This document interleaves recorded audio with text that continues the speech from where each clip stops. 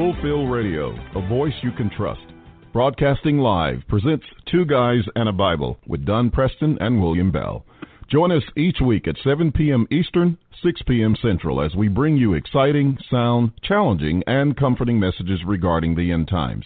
Thank you for tuning in today. Don Preston is the founder of Preterist Research Institute, or PRI. Don is a prolific author, having written and published 19 books, a host of audio and DVD studies, and is a debater and defender of the full preterist view. His websites are BibleProphecy.com, Eschatology.org, and DonKPreston.com. William Bell is the founder of AllThingsFulfilled.com Ministries and has a website bearing the same name and has authored three books, audios, and DVDs. He has published hundreds of articles and recordings. And now, ladies and gentlemen, welcome to Two Guys in a Bible broadcast with Don Preston and William Bell.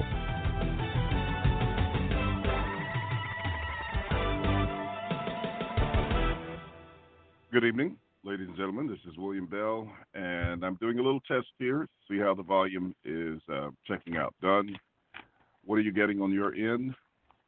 Yeah, you're nice and clear at this time, William. Okay, very good. Very good.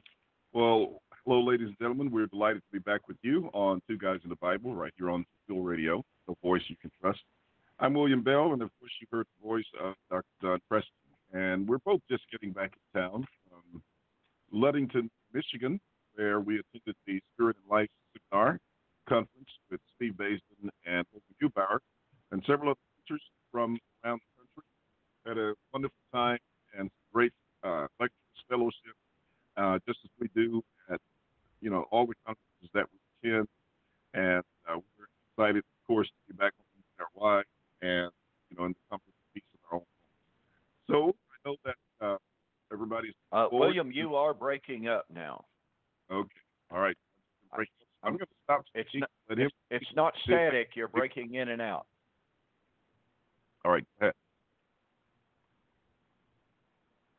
Say what? Go ahead. You can take it from here. Okay. One more of these uh, wonderful technical issues, folks. I don't. We don't know what in the world it is. I know. I know a lot of the times it's almost beyond our control.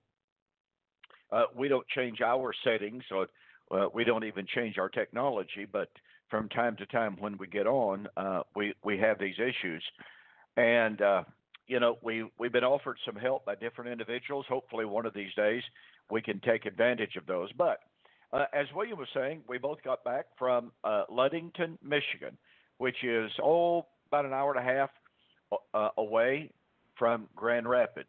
Uh, it was my very first time ever to Ludington, and boy, oh boy, is it ever beautiful up there. Now, I will tell you this: that while we were there, it was about oh, it might possibly have gotten up to 85 degrees, and the people were just going, "Oh my goodness, it's hot! Oh my goodness, it's hot!" And of course, here in Ardmore, uh, we've already had some days of a heat index of 109, and it was up close to 105 uh, plus today. Uh, I had to walk out to my shop just a little while ago uh, to check on uh, to check on some stuff, make sure it was okay uh, after being gone, and I wasn't out there 10 minutes and I'm sweating like crazy. I mean, it's just crazy. Uh, so it's, it's very, very hot here. And the difference between their 83, 85 and our 105, let me tell you what, folks. I told some of them, I said, you don't even know what hot is.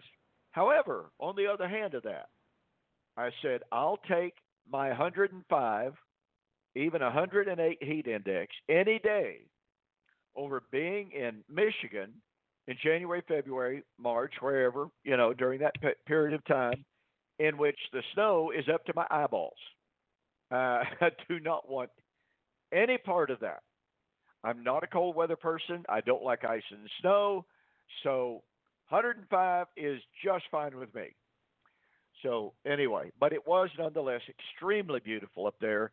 We had a very, very enjoyable uh, seminar, heard some great lessons, and um, you know, William and I both were extremely impl- impressed with Kyle Elliott. He had he had a discussion. You wouldn't really call it a debate with our very good friend Michael Miano on uh, the doctrine of well, we could call it total hereditary depravity uh, or the ori- uh, or original sin, whichever term you you would prefer. But uh, I tell you, Kyle's presentations were just uh, absolutely dynamite. Uh, his use of logic is impeccable. It is stunningly clear, and our our friend Michael uh, took a very low key approach. He did not he did not ask for, did not examine, did not re, uh, even attempt to refute even one of the syllogistic arguments that were offered. Uh, and so uh, William and I both just felt like Kyle Elliott did a fantastic job. Uh, we felt like Daniel, Daniel Rogers. Daniel Rogers took an approach. Now, I didn't get to hear all of it because I was preoccupied at the time I got called out, but I got to come in on the tail end of it. And Daniel's approach was to show how the atonement should affect our everyday lives, how it should transform our everyday lives. You know, he, he did not do what might be called an exegetical investigation of the atonement uh, to prove, for instance, that Christ had to come come again to complete the atonement. That was not his approach. His approach was, what is the practical application? How does Christ's sacrifice impact our lives on a personal level, on a family level, on a societal level? So it was very, very good. I, I, I just really like that. And uh, go ahead. I thought it was uh, more homiletic, you might say. Yes, indeed, it was more homiletic than it was exegetical, and uh, you know that's certainly got its place. That's got its function, and uh, I just felt like it was fantastic. And and I got to tell you, folks, uh, William almost had too much fun and uh, uh, he just almost had too much fun in his presentation. Uh, there was another debate uh, there at the conference, and it was between Holger Neubauer and Bill Lockwood. Now, I debated Bill Lockwood back in 91, 2, and 3. And I had three po- formal public debates with him. And I have to tell you, Bill was a totally different man then from what he is now. He's very kind, very gracious, and I would even go so far as to say that in many ways, an humble man now. Uh, it is it is remarkable and it's refreshing. I've I thoroughly enjoyed being around him up there this past weekend, and I mean that very sincerely. Pardon me.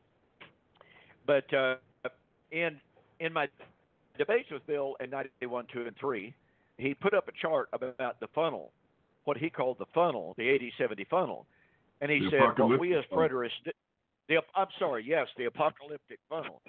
And uh, he said, "We as preterists just pour everything into that funnel, and down in the bottom of it, he has a pot with a skull and crossbones on it." Meaning, of course, his application of that is that uh, preterism leads to death. Well, he uh, he put some passages at the bottom Acts 17, 30 and 31, Acts 1, 9 to 11, uh, 1 Corinthians 15, 1 Thessalonians chapter 4, which are the passages which supposedly, ah, yes, indeed, Second Peter 3, which supposedly refute the idea of the apocalyptic funnel. Well, uh, not only did he use that debate in my debate with him, but uh, Stephen Wiggins, whom William debated, in Memphis some years ago, he likewise used, he either used the same funnel or, or chart, or he used one very very similar to it. Uh, the one he had there at Ludington had been upgraded in full color, uh, very very impressive chart. And uh, William got up and he said, "Folks, I got to tell you, I got a love hate relationship with this chart." He said, uh, I hate it because it's wrong. I love it because it's give me, going to give me an opportunity to work on it. And boy, did he ever work on it. uh, it was absolutely hilarious and powerful for William to go through that chart and demonstrate Well, one of the charts that William used was the parallels between Matthew 24 uh, and 1 Corinthians 15.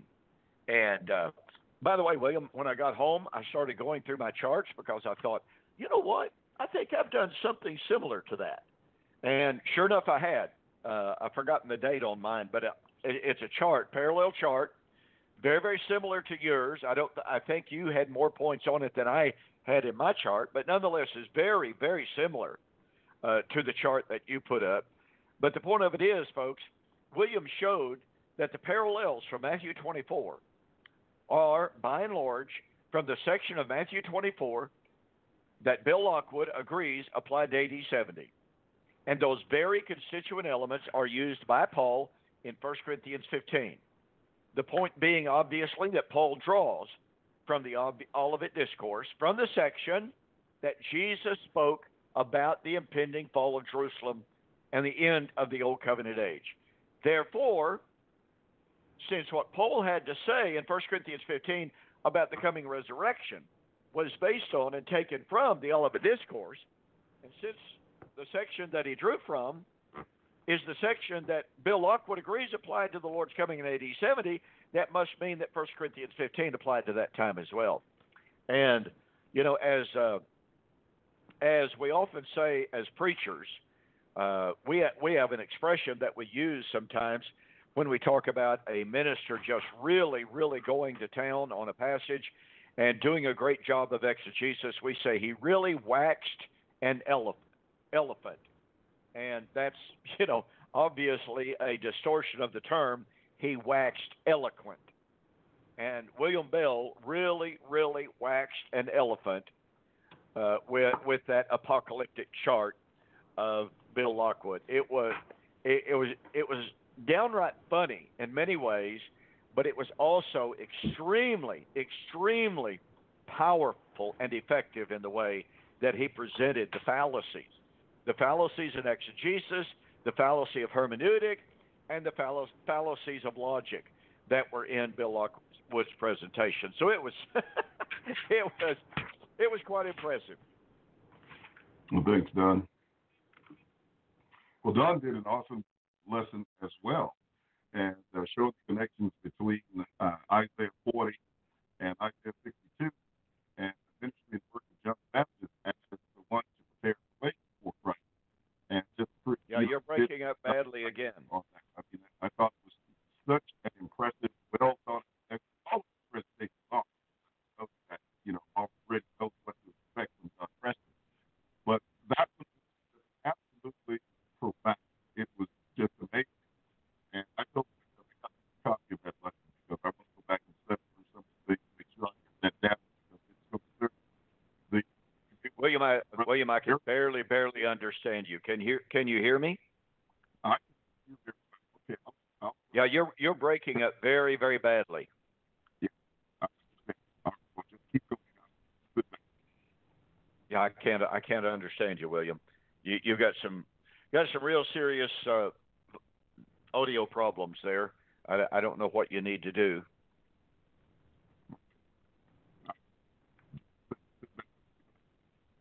Yeah, yeah. I basically lost you. I'm I'm catching up.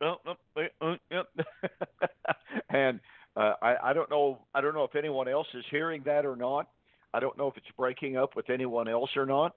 But um, but with me from uh, from from this end, uh, I, uh, I I can't understand a word you're saying literally. So uh, that's unfortunate. So we'll uh, we'll see if William can get his uh, mic problem worked out and uh, and get back on with us here momentarily. In the meantime, uh, you know, I, I, want everyone to know that you can actually go online uh, on the website as uh, on Facebook, uh, and as it is written, that's the Facebook page, and all of the speeches that were given up there. I mean, you had men like Brent Bishop from Indianapolis. You had, uh, again, I've already mentioned I've already mentioned Daniel Rogers. Uh, thank you, Rod. Uh, William Rod Rupert says you you are indeed breaking up uh, as he's trying to listen to you. So it's not just me receiving you. Uh, you're actually breaking up for those who are trying to listen as well. So uh, a- anyway, uh, we we had some really really good men there that were that just did an outstanding job, and we appreciate their dedication. I mean, they came from California, uh, you know, they came from here, they came from there, and there were a lot of people there. We had people there from Canada, folks, and of course, uh, Michigan's not all that terribly far, you know, geographically from uh, from Canada, but nonetheless, it shows you the interest that was there. And the congregation there at Ludington is to be commended and complimented for their dedication to the truth, uh, for standing by uh, Brother Steve uh, Baisden, and, as well as Holger Neubauer. He has a congregation up there as well.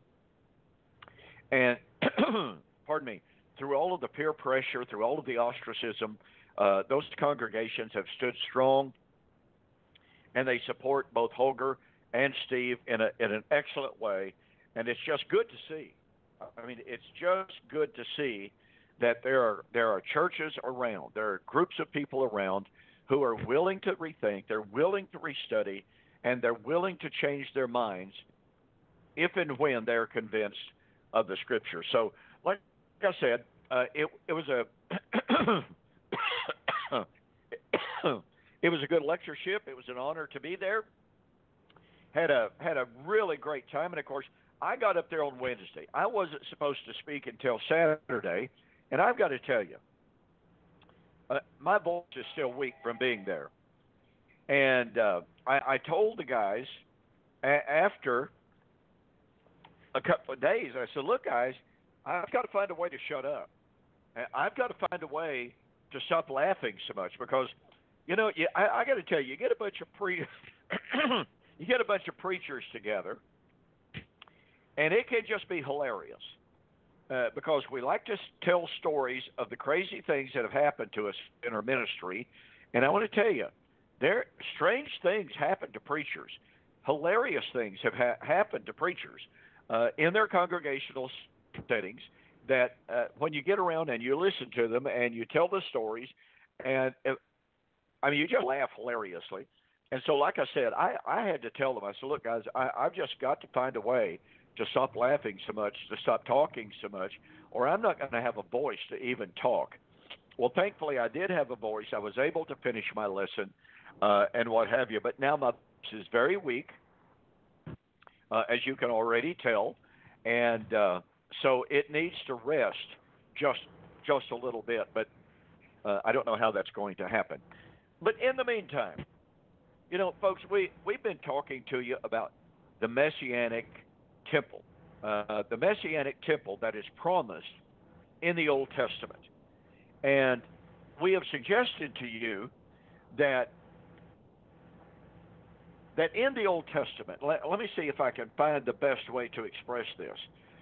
That in, in the Old Testament, you have this prediction not only not only of the temple, but you have some Old Testament references that if a person if a person looks at those passages and examines them carefully, number one, they they let us know that there will be, in fact, there would be, in fact, a messianic temple. Number two, their descriptions of that messianic temple. Now, they may not even use the word temple, they may use that word house. But in, in the Hebraic vernacular, the house of the Lord is without any doubt at all the temple. And so they use this terminology, but what I started to say was when, when we find these descriptions of what the temple in the kingdom, the messianic temple would be, those passages, those descriptions are absolutely revolutionary. And they are stunning. I mean, try to put yourself into a Hebraic mindset that said and that thought the following, okay? This will be very brief. Number one, the temple is restricted to Jerusalem. worship of the Lord is restricted to the temple. Number three, sacrifices are restricted to the temple. Number four, the offering of sacrifices can only be made by the Levites of the Aaronic tribe. No man could offer a sacrifice at the temple on the altar that was not a Levite. No foreigner, in other words. And I, don't, I mean, this means that no, no one of the other 11 tribes could offer a sacrifice on at the temple and on the altar. Not needless to say, therefore, no foreigner who is not of the children of Israel could ever offer a sacrifice on the altar. And so, with with, uh, with a little bit of that in the background, I want to read to you a little bit from Isaiah chapter 60. All right? I'm just going to read this. Pardon me. Now, Isaiah 62, by the way, is very, very similar to Isaiah chapter 60. You can take your own time to read Isaiah chapter 62. It is an extremely important messianic prophecy. And I think I heard William mention in my lesson at Ludington, Michigan over this last weekend, I did an exegetical study of the parousia of Christ as foretold in Matthew 16, 27, and 28, understood through the prism of Isaiah 40, Isaiah 62, Malachi chapter 3, and Malachi chapter 4. And so, what we have in these texts is the prediction of the coming of the Lord, the prediction of the time that the Gentiles would be called to the Lord. You have the predictions of the coming of the Lord in judgment, the coming of the Lord in salvation, the coming of the Lord in the kingdom.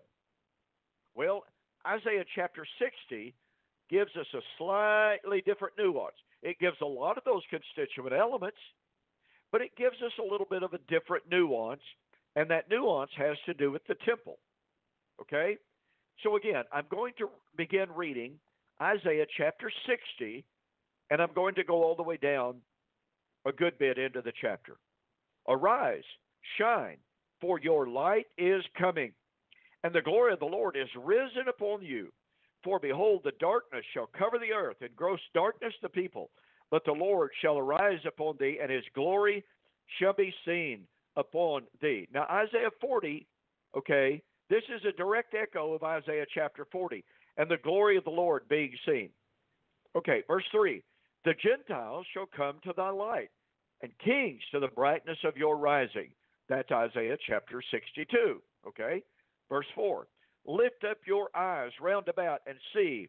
All they gather themselves together, they come to thee. Thy son shall come from afar, thy daughter shall be nursed at your side. Then thou shalt see and flow together your heart shall fear and be enlarged, because the, the abundance of the sea shall be converted unto thee. Now, here's an example, by the way, of Hebrew, number one of Hebrew parallelism. When it says, the abundance of the sea shall be converted to thee. Now, watch, the forces of the Gentiles shall come to thee. Now, again, this is a Hebrew parallelism. The Jews, the Hebrews, often referred to the sea or excuse me, referred to the Gentile world as the sea. And you see that in the parallelism. The abundance of the sea shall be converted. Well, how do you convert fish? Okay? It's not talking about converting fish and whale and porpoises and what have you. It's the conversion of the Gentiles. All right. The forces of the Gentiles shall come unto thee. So here's a prediction of the restoration of Israel. And as a result of the restoration of Israel, now keep in mind, folks, as William and I have discussed uh, on previous programs, the conversion of Israel automatically includes the messianic temple. Okay? So even though the word temple may not be used, the word temple permeates the text because it's about the restoration of Israel. We will see that even more momentarily. Okay. Verse 6 The multitude of camels shall cover thee, the dromedaries of Midian and Ephah, and all they from Sheba shall come. They shall bring gold and incense. They shall show forth the praises of the Lord. Now, look, folks, these are pagans regions. These are not Israelites. So this is building on the fact of the conversion of the Gentiles. Now watch. All the flocks of Kedar shall be gathered together unto you. The rams of Nebaioth shall minister unto thee. They shall come up. Now watch this. They shall come up with acceptance on my altar and I will glorify the house of my glory. Say what? Who are these people? The flocks of Kedar shall be gathered together. The rams of Nebaioth shall minister unto thee. They shall come up with acceptance on my altar. Now, I'm reading from the King James. The New King James talks about these individuals, these people from Kedar Nebaioth, and these other regions. And it says, They shall ascend my offer, my altar, and their sacrifices will be accepted. Oh, wait a minute. Holy cow. Can you imagine being a Hebrew and reading that one day at the coming of the Lord, when the Lord would be glorified, foreigners, not of the 12 tribes, not only not of the 12 tribes, not even of Levi. And they wind the altar of the Lord and offer acceptable sacrifice. Now, I want to tell you something in the dispensational paradigm of the Messianic temple, which they build their concept of the Messianic temple, the millennial temple as they call it, on Ezekiel 43 through 48. Well, ladies and gentlemen, their construct of the dispensational, you know, millennial temple does not allow foreigners to offer sacrifice on the altar at the Jerusalem temple. Period. End of story. And yet, here is the prediction of the house of the Lord. And let's continue a little bit. Verse 9. Surely the isles, that's the islands. Now, folks, let, us be very, very clear. The islands were non Israelite. Israel was never given any islands as their land of possession. None.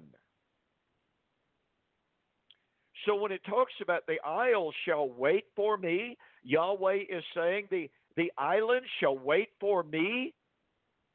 And, and that terminology is that they shall wait to serve me.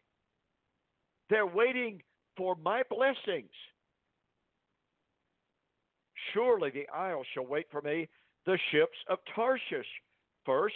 Now, watch this to bring your sons from afar, their silver and their gold with them unto the name of the Lord thy God, to the Holy One of Israel, because he has glorified thee. Now, watch.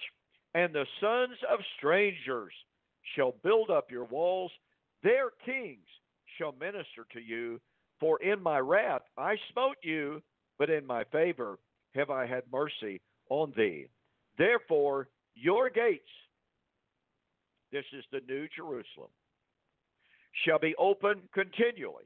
Now, if you don't recognize Revelation 21, 25, and following this, you're not paying attention. I say that kindly.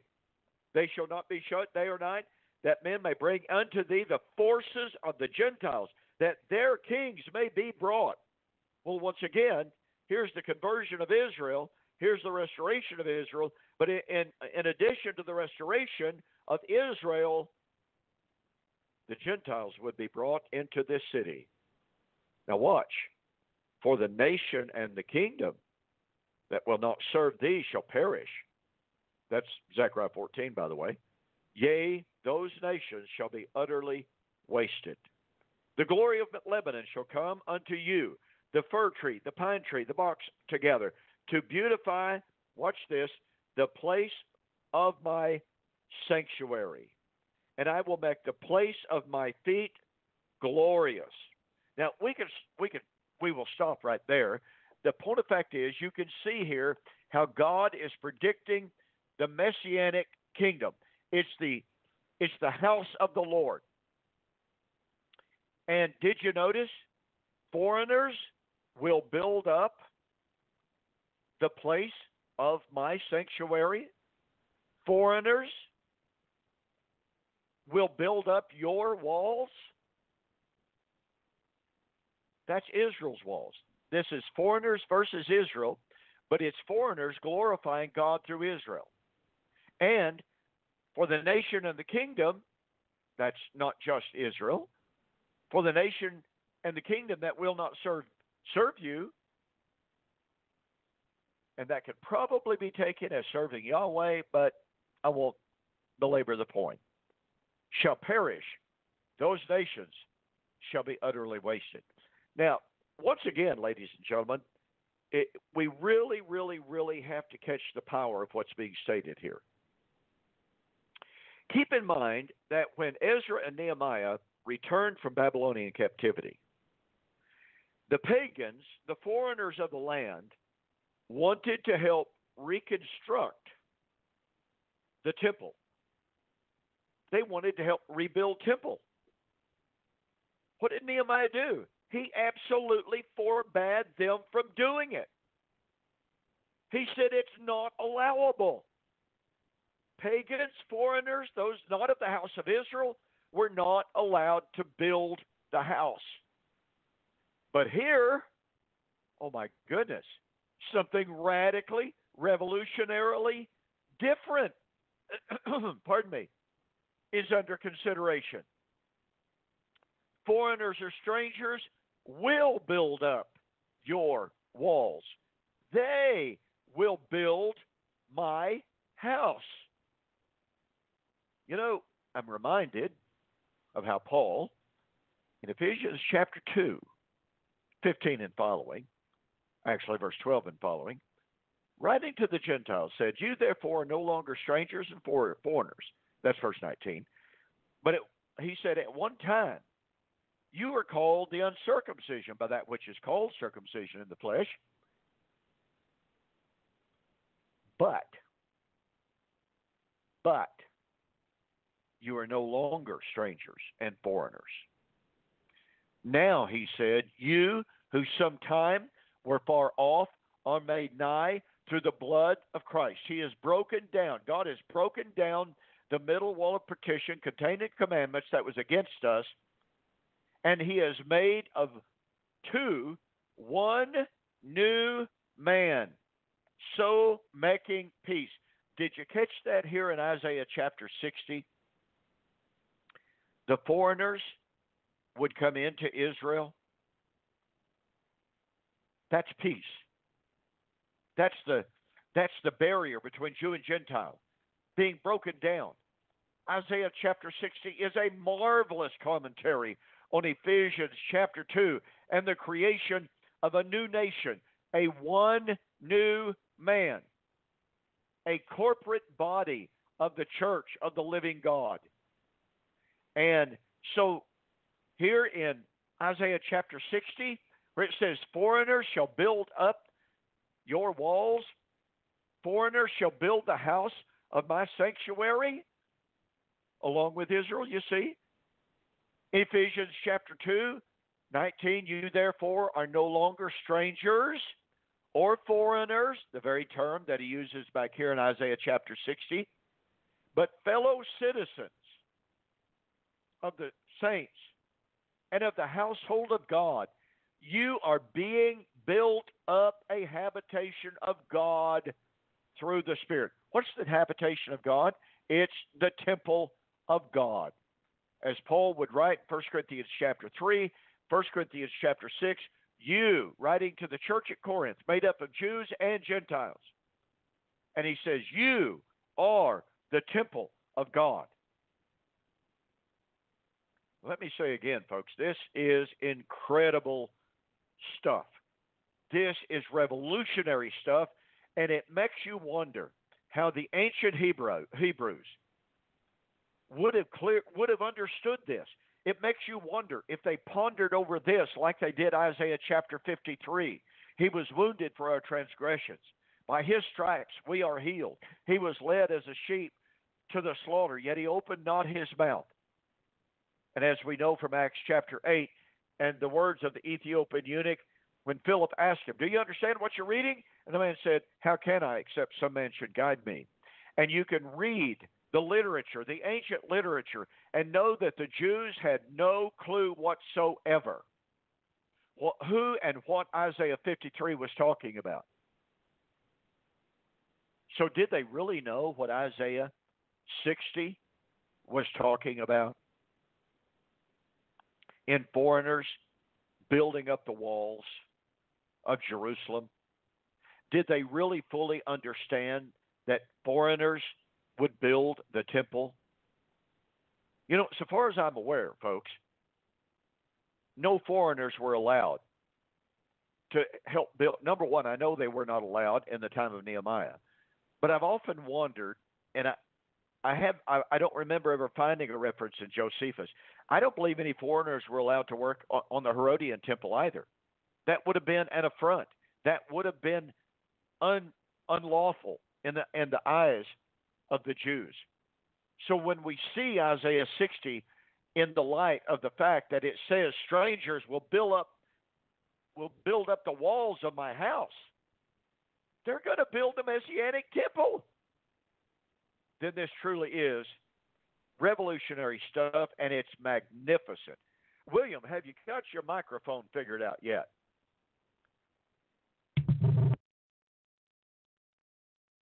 Hello? William, I heard a I heard a rustling there. Okay. Hello? Nope, you're still breaking up, William.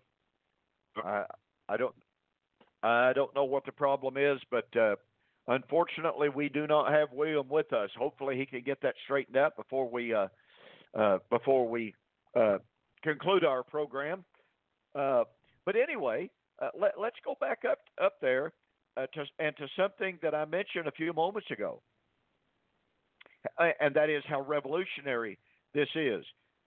Just imagine, if you will, what verse seven tells us. And and again, I recommend folks that you get yourself a New King James, uh, New American Standard, even a New International Version. I don't often recommend that, but uh, but it will convey the idea here that what verse 7 is talking about is that in the Messianic temple, strangers and foreigners would not only be able to come to the temple and have with them their sacrifices, like the Ethiopian eunuch would have been allowed to do, but you see, when the Ethiopian eunuch got to Jerusalem, he would have had to have given his sacrifice to the priest. And the priest would have offered that sacrifice for him vicariously. He, that is to say, he would have made the sacrifice instead of the eunuch. Now, it would have served as the sacrifice of the eunuch, but the eunuch could never go into the court of Israel. He could never approach the altar of burnt offering. So here, when it says all of the flocks of Kedar shall be gathered together to you. The rams of Nebaioth shall minister you. They shall come up. Now, here's where it gets different in the different translations. They shall ascend my altar. Okay? Are you following this? They shall ascend my altar and be acceptable. I mean, tell you what I'm going to do. I'm going to get on Isaiah 60 and verse 7. And in the New King James Version, it says, They shall ascend with they, okay, they shall ascend with acceptance on my altar and will glorify the house of my glory. Now, the American Standard Version says, They shall come up with acceptance on my altar. The Amplified, they will go up with acceptance as sacrifices on my altar. Now, uh, they shall come, the uh, uh, Amplified version, I'm not real sure which one exactly that is. Uh, anyway, but as I look at this, over and over and over, it expresses the fact that these individuals would ascend the altar itself. Now, someone might, might want to say, well, all in the world this is saying is that the flocks of Kedar, the rams of Nebaioth, would be brought to Jerusalem and there be offered as a sacrifice. No, this is talking about the the rams and the flocks. They would be brought, but it's those from these regions that that would bring. I'm stuttering here. That would actually bring these animals and ascend the altar. That's how uh, that's how many many commentators understand this, and so this this is a declaration of how foreigners would be able to ascend the altar of the Lord. So uh, I hope you'll take the time to look at some of the various translations and to see what is going on here. At the very, very, very least, what is being predicted is that offerings from foreigners, sacrifices by foreigners, would be acceptable. Now, I don't think that's all the, all that is at work here. I have to be, as I've already expressed, I think it's talking about those who would bring those sacrifices from Kedar and Nebaioth.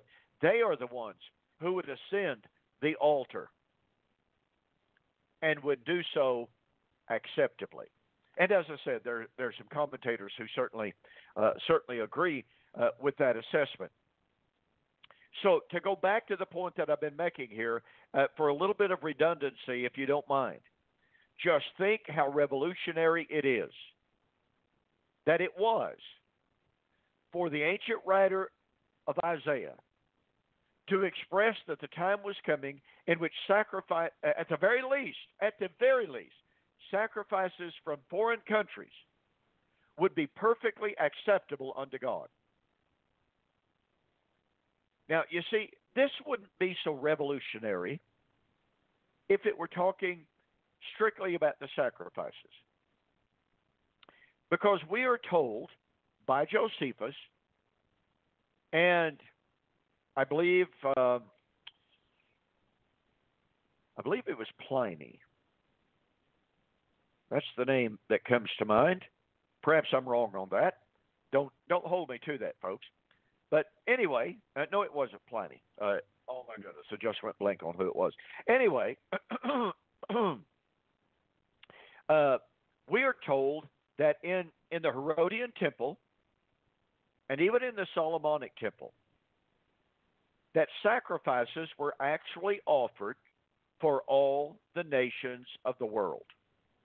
Now, normally that was represented by 70 sacrifices because 70 is a multiplication of 7 and the number 10.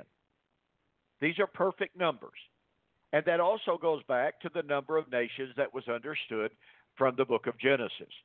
But I, I personally believe that the number 70 was a symbolic number to represent all of the nations of the world, even those that they did not personally know of. Again, the symbolism of the number 70 would lend itself to that. It's, it's a multiple of perfect numbers. So simply saying that sacrifices from foreign countries, from pagans, would be offered at Jerusalem is not all that revolutionary. Because again, the Jews offered sacrifices for the nations. And animals were brought from everywhere to serve a sacrifice. But Isaiah 60 is going beyond that. It's going beyond that because it's talking about people of the islands waiting for the Lord, serving the Lord, being converted to the Lord. The abundance of the sea shall be converted to you, and the Gentiles shall come to you. And again, that's Hebrew parallelism. The abundance of the sea, the parallel to that is the Gentiles shall come to thee. And, and so when you take into consideration these, these internal contextual factors, that the writer is not focused, he's not focused on animals. He is focused on the Gentiles being called into Israel's salvation. In a radical, revolutionary, world changing, that is, world changing for Israel, manner. And that is that the Gentiles coming from Kedar and Nebaioth and these other regions from Sheba and the different regions, they are the ones. Now, they may bring these sacrifices, they may bring these animals to be sure, but they are the ones who are ascending the altar to make acceptable sacrifices. And again, I want to challenge you to think how that would impact an ancient Hebrew writer, if in fact that's what the text is saying. How would it affect the ancient Hebrew reader, not, not just Isaiah the writer, but how would it affect the ancient Hebrew reader or the listener to the reading of the scroll of Isaiah to hear that one day when the Lord would glorify his house, when the Lord would have his house and it would be built by strangers. I, I got to tell you, folks, as I've read this passage, contemplated this passage through the years, I have just been staggered and incredibly challenged by how revolutionary this chapter really was. It's one of those that when we read it, we we today are so far removed from from that Zetzin that life situation, the real world life of the ancient Hebrews, that we fail to grasp how shocking some of these statements were to them in their world. How puzzling some of these statements would have been because they would have looked back in their oral tradition at the building of the Solomonic temple. Now, they would have known that the king of Tyre sent gold from Ophir. He sent men to cut wood in the forest, but they didn't construct the temple. They would have known that. So here you have men, foreigners, that were contributing the goods for the construction, but it was Israelites who did the construction. And again, in the time of Nehemiah, no foreigner was allowed at all to do the actual construction of the temple of God. And as I've stated, I'm real sure although I cannot document it at this moment, I'm real sure that no foreigner was allowed to, to aid in the actual construction of the temple, that is, the Herodian temple. So think about how revolutionary, think how radical it was when the Lord said, you know what? those of Midian and Ephah and Sheba, they are going to come. and not only are they going to come, they're going to flow together. And they are going to build my house.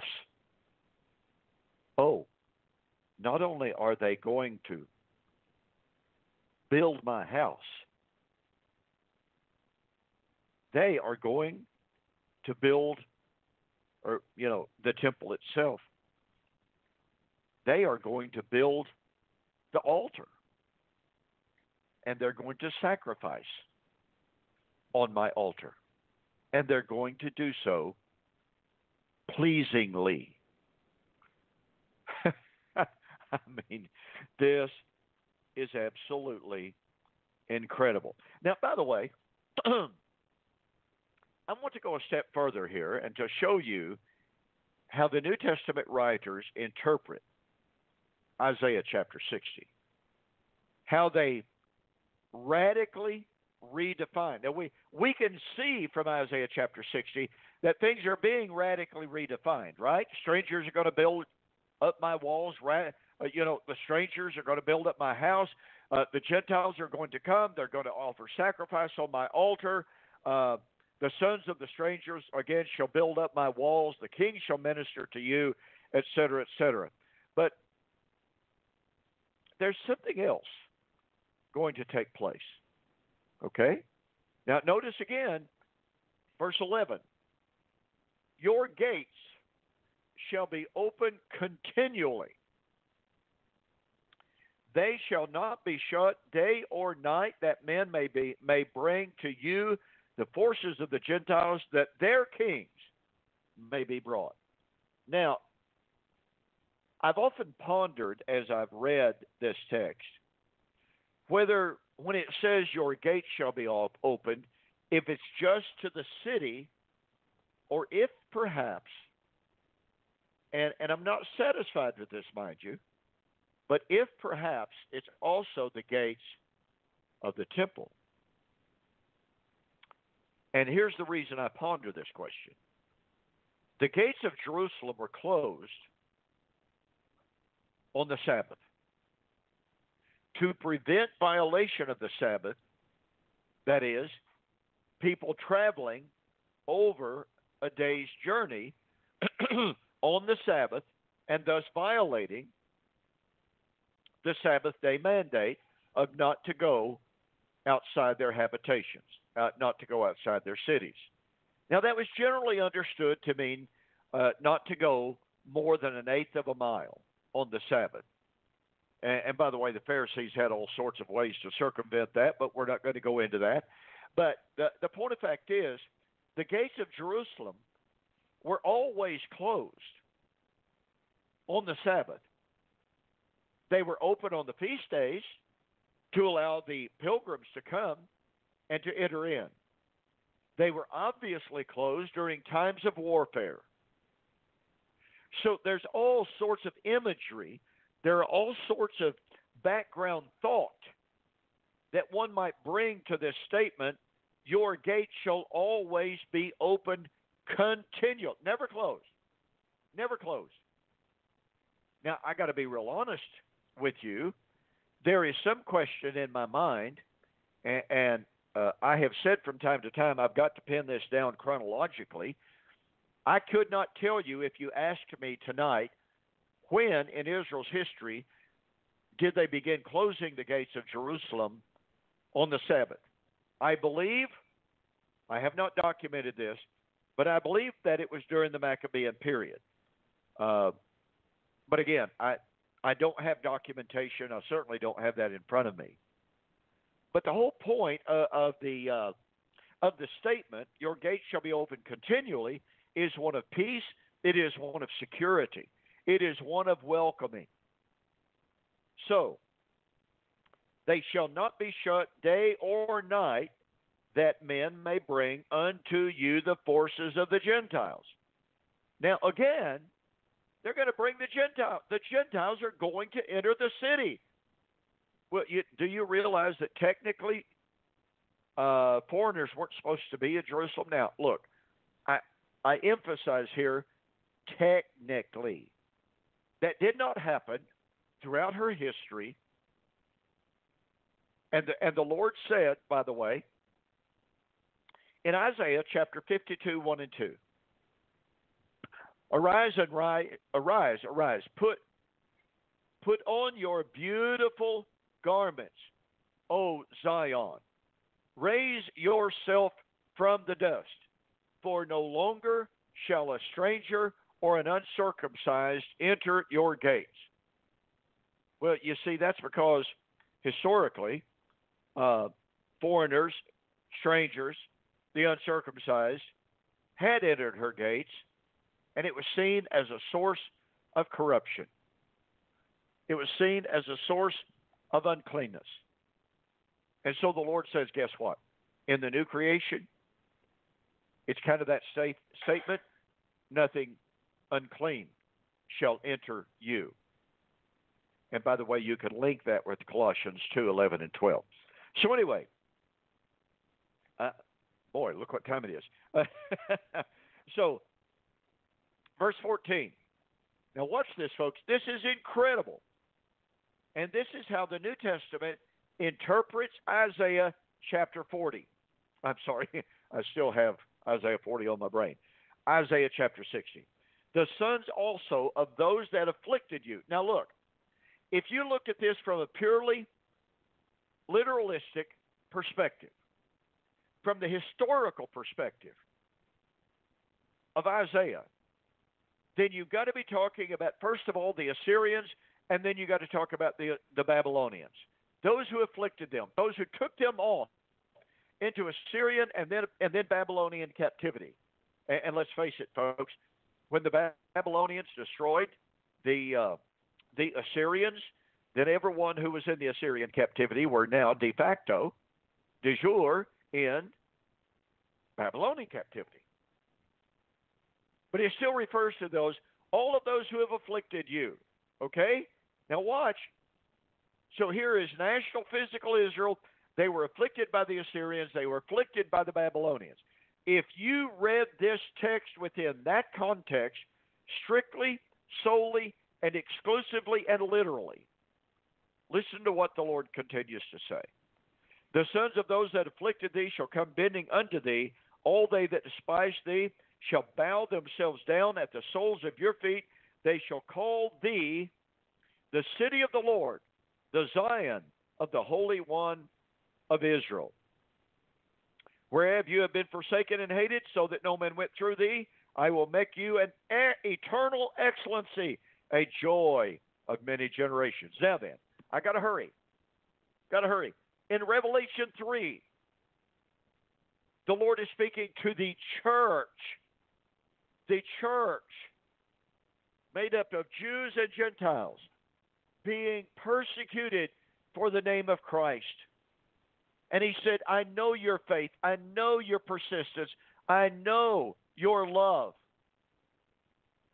And he says, How you dwell where the synagogue of Satan is, where those who say they are Jews but are not, but they are liars. Now, watch this. I will make them to come and to bow down before you and to know that I have loved you. Folks, Jesus himself lifts Isaiah chapter 60, verse 14, directly into the book of Revelation and the promise of the destruction of the persecutors, which would have been understood in its absolutely woodenly literalistic manner by the Jews to apply to the pagan nations being destroyed for persecuting and enslaving Israel. But now, now, Jesus takes it from there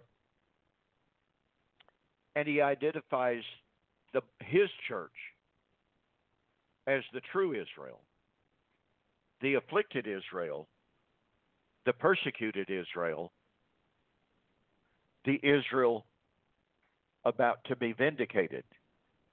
When he says, Those who say they are Jews, but they are not They are the synagogue of Satan. I will make them to come and to bow down before you and to know that I have loved you. You see, Jesus is here redefining Israel. That means that means he's redefining the temple. That means he's redefining the sacrifice. This is incredible stuff. Well, uh, folks, I'm sorry that it was one guy and the Bible tonight. Hopefully, William can get his uh, microphone uh, and audio troubles figured out uh, for next week. In the meantime, thank you so much for joining us here on Two Guys and a Bible on Fulfilled Radio, a voice you can trust. William, hope you get that figured out. Check your emails. I sent you an email earlier, a forward, so be sure to check that. And folks, once again, thanks again for joining us. And with that, I will say good night and God bless. Thank you for joining the Two Guys in a Bible radio broadcast. On behalf of Don Preston and myself, we'd like to say have a very pleasant day and may God bless. Until next time, we'll see you on Fulfilled Radio, a voice you can trust.